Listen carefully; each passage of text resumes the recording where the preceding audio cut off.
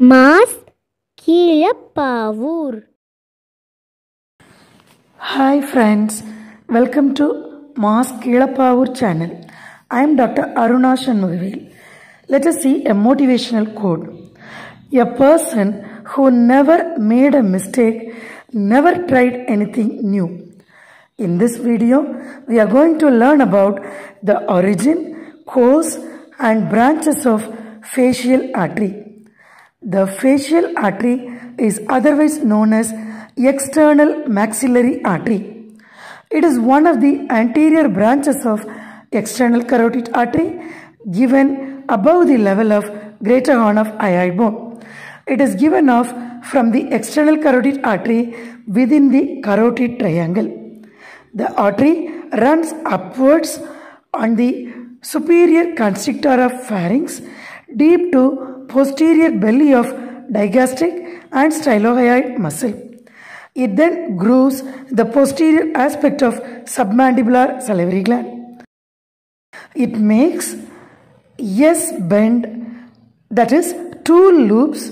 One is winding down over the submandibular gland with convexity upwards, and the other is winding up over the base of mandible with convexity downwards. Then it appears in the face by crossing the base of mandible at the antero-inferior angle of masseter. It runs upwards and forwards 1.5 centimeter lateral to the angle of mouth, then runs deep to the nasolabial furrow. Finally, it reaches the medial angle of eye. The terminal part of the artery is called angular artery. Thus, the facial artery has two parts. One is cervical and the other is facial. The facial part is tortuous in its course. The branches from cervical part are ascending palatine artery that runs between styloglossus and stylopharyngeus and supplies soft palate, palatine tonsil, auditory tube and pharynx. Tonsillar artery that supplies palatine tonsil. Glandular branches that supply submandibular gland and submandibular lymph nodes. Submental artery that supplies mylohyoid and anterior belly of digastric. This artery anastomosis with mylohyoid artery.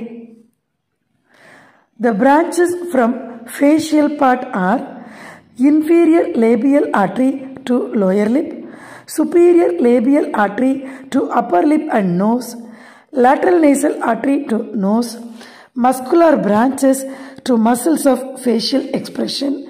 The terminal part of the facial artery is angular artery. Angular artery supplies lacrimal sac and orbicularis oculi. Shall we discuss some anastomosis of branches of facial artery? Right. The submental artery anastomosis with mylohyoid artery which is a branch of inferior alveolar artery.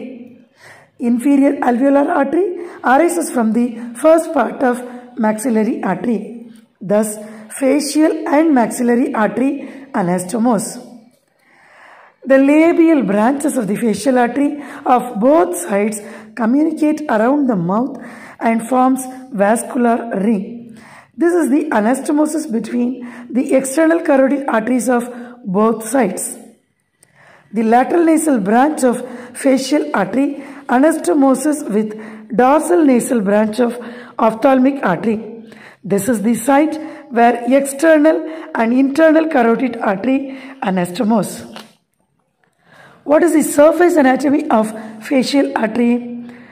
It is marked by connecting the following three points. A point on the base of mandible at the anterior border of the masseter muscle. Second point, 1.5 centimeter lateral to the angle of mouth. Third point, a point at the medial angle of eye. Let us see some applied anatomy of facial artery. During injury of face, Bleeding from the facial artery can be stopped by compressing the artery against the lower border of mandible. The pulsation of the artery can be felt along the lower border of mandible near the anterior-inferior angle of masseter. Hence, the artery is known as anesthetist artery. In the lips, branches of facial artery are found nearer to the mucous membrane than to the skin. Hence, injuries caused by the teeth and the mucous membrane of the mouth may develop hidden hematomas. Shall we wind up the session with a quote? A lion doesn't lose sleep over the opinion of sheep. Thank you for watching you like this video, don't forget to subscribe and click the bell icon select all to get instant notification.